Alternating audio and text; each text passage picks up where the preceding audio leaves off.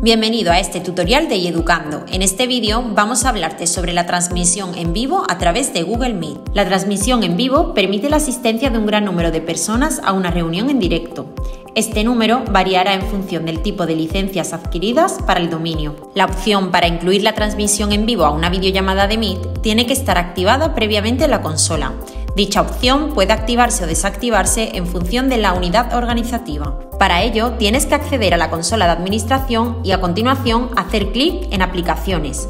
Dentro de Aplicaciones, entra en Google Workspace. Seguidamente aparecerán las diferentes herramientas de Google Workspace entre las que se encuentra Meet.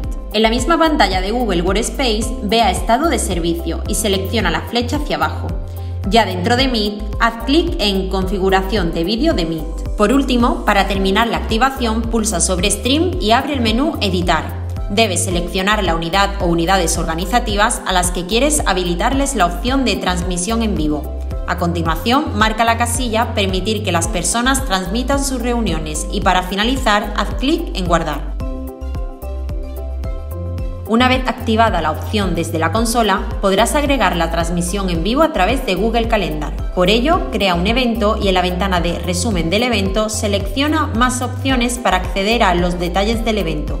A continuación, haz clic en Agregar videoconferencia de Google Meet. Tras la creación de la videoconferencia, haz clic en Ver detalles de la conferencia y pulsa en Agregar transmisión en vivo, dando lugar a que se genere una URL única. Como organizador de una reunión con transmisión en vivo incorporada, debes saber que para iniciar la misma, una vez que estés dentro de la reunión de Meet, tienes que hacer clic en los tres puntos de opciones y seleccionar Iniciar transmisión. En ese momento aparecerá Live en la esquina superior izquierda y permanecerá hasta que hagas clic en Detener transmisión.